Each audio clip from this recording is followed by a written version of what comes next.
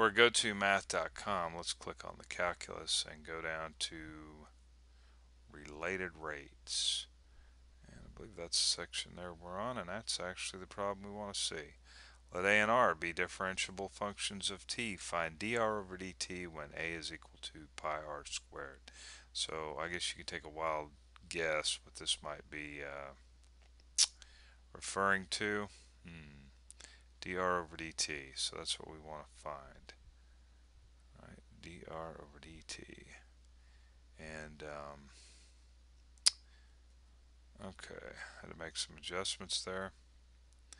So we have A, which could represent area, I suppose, is equal to pi r squared and we wanted to find, I've already forgotten what we wanted to find, um, dr over dt.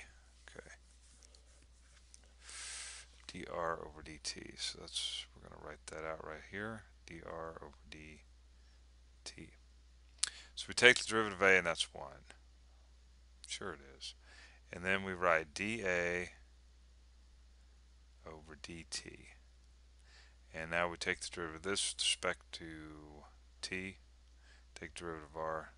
We bring the 2 out front, 2 pi r times dr over dt. Did you know that this piece right here, 2 pi r, is the formula for the circumference?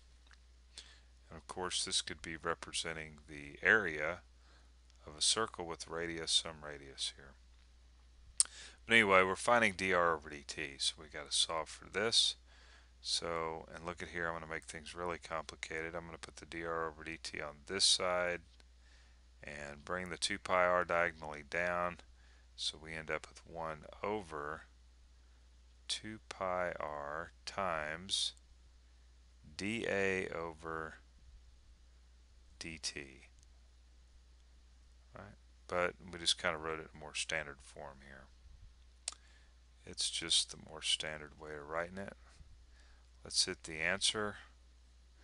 d over dt is 1 over 2 pi r dA over dt. Okay? So you know where to come to practice these problems.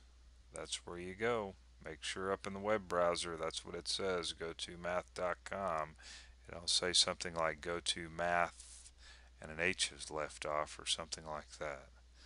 Those people are sneaky out there. Alright, I'll see you then.